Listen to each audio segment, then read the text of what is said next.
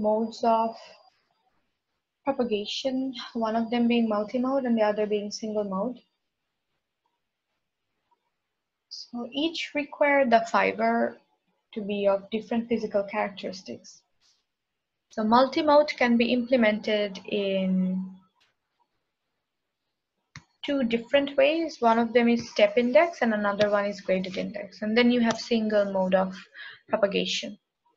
So let's first look at multimode. Multimode is so named because multiple beams of light source can move through core in different paths. All right, so look at first, uh, look at A and B. So these are multi-mode propagation. So you have multiple different light rays propagating at the same time. Right, so let's first look at multimode step index. So in step index, the density of density of the core is constant throughout, right? And obviously the density of the cladding is lighter than the density of the core. So the core is more dense and the cladding is less dense, but the cladding is uniform. The cladding is of uniform density, right? So since that is how it is, so light rays, so they since the density of the core is same, so light rays move along a straight path, but the total internal reflection happens at the interface of the core and the cladding. So it happens right over the interface, right? Just where the core is touching the cladding. So over here, here, here, right? Whenever the light rays propagated and when it's touching the interface of the core and the cladding, that is when it's getting reflected back, right? So once again, to reiterate, in multimode step index, the density of the core is uniform throughout, and the density of the cladding is lesser than the density of the core. And light rays move along the straight path, but when it reaches the interface or the surface or the edge of edge where the core is touching the cladding, that is when the light ray gets reflected back. All right, and that is how the propagation happens. But in multimode graded index, so the core, the core is the pink region over here. The core is not of uniform density. The density at the middle that that is over here the middle has the highest density and as you move towards the edge the density reduces all right? So in graded index propagation mode the density of the core is not uniform. As you move towards the edge the density reduces all right? And obviously the cladding is of lesser density than the core so when the light propagates it propagates in more of a smoother curve, right? Because it's getting a little bit reflected at every little point over here as the density is not uniform. So it's being, it's propagating in more of a smoother form, all right? Because it will not move in a straight path as the density is not uniform, it's actually changing. So that is basically the difference between step index and graded index. In step index, the core is uniform throughout, but in graded index, the um, heart of the core has the highest density and as you move towards the interface of the core and the cladding, the density kind of reduces right? So in single mode propagation, if you look at the pictures over here, and the core here is extremely tiny. See the cores of multimode is higher, but the core of single mode, it's extremely small.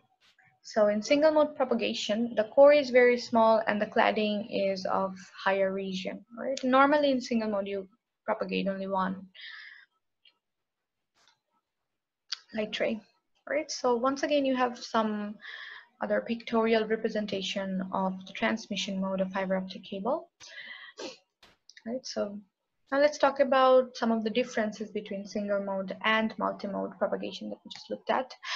So sing in single mode, obviously the just saw that the core is extremely small, but in multimode, the core is larger, right? So the dispersion, the light is dispersed lesser in single mode, but um, in multi-mode, the dispersion is higher. And since that is how it is, loss of signal is also more probable in multi-mode.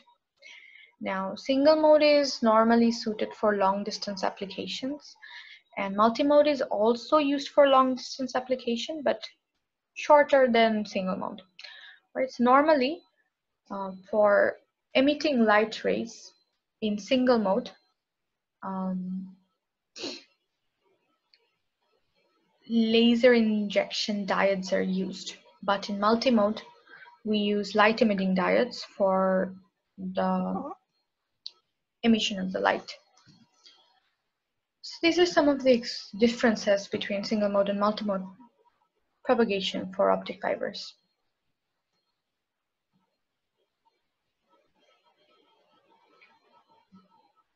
Optical fibers are defined by the ratio of the diameter to their core or to the diameter of their cladding. All right, so you see basically over here, um, the types are defined according to diameters of this core and cladding. All right. These are some of the common sizes that are available. Right, so let's look um, little bit into the construction of fiber optic cables. So at the heart, you have um, a glass or plastic core, and this core is surrounded by a cladding. Now, both of these are made of glass, except the core is of higher density, and the cladding is made up of glass of lower density, right? And then this glass portion is covered by a plastic buffer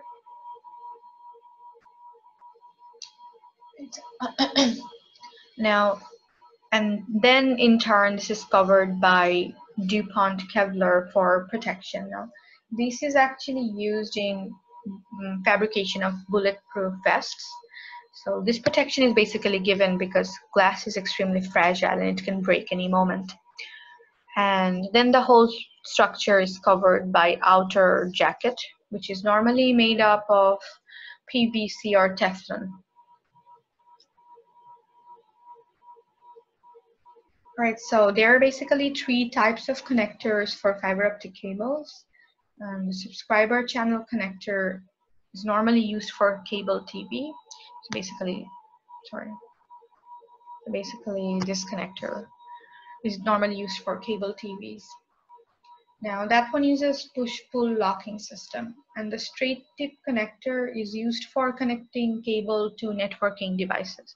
So networking device would normally use why does that keep happening? So um, networking device would normally use uh, this straight tip connector. Right, and it MTRJ is another type of connector that is the same size as RJ45. So this this third type of connector. I'm gonna make the same mistake again. So this one is over here is used for uh, receiving and this one is used for transmitting.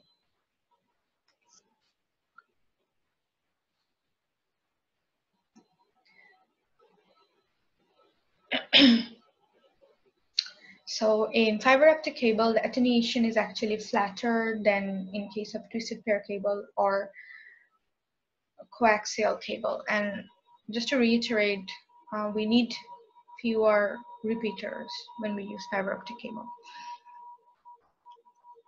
Right, so um, that was basically it on fiber optic cables. I'll leave it here, kind of uh, try to get over, I mean, go through this lecture by